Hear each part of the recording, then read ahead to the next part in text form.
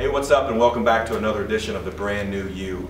Over the course of the last few videos, we've let you know that you were saved, you can ask for help, and then in our last video, we've talked about how that you have victory. And to get into this uh, session today, I just want to throw out a couple questions. Have you ever done something that as soon as you did it, you realized that was a bad idea? Have you ever made a mistake? Have you ever done something wrong? Have you ever did something that, that, that you really quickly or later regretted? Of course you have. We all have. We're human. And here's the thing. Most likely, since you've asked Jesus into your heart, you've probably done something that you regret. You've made a mistake. And today, what we want to let you know is, is that making a mistake, doing something wrong, the Bible talks about how that that is a sin. But we want to let you know today that even though you have victory in your life, there's going to be some times where you do something wrong, where you sin.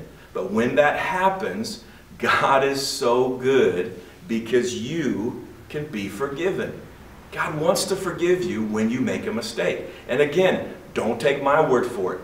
Let's look at what the Bible says. The Bible says in 1 John 1 9, it says that if we confess our sins, that he is faithful and just to forgive us of our sins and to cleanse us from all unrighteousness. God lets us know that when we do something wrong, if we don't hide it, but we confess it, God, I did something I shouldn't do. Will you forgive me?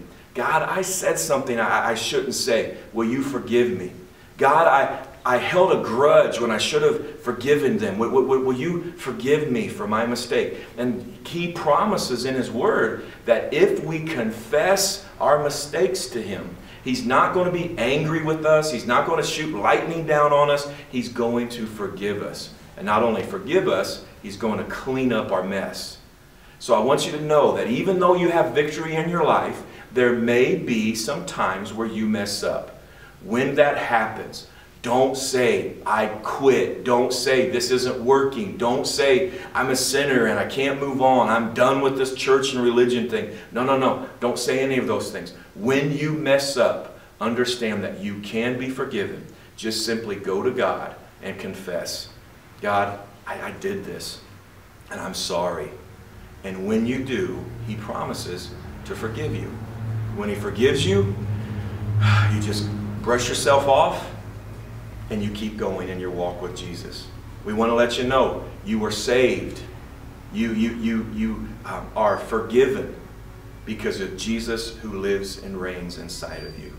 So today, go and live a life that gives God honor. Try your absolute best. And if you drop the ball, come clean. Confess to Jesus and let him forgive you. God bless you. You have a great day, and we sure hope to see you this Sunday.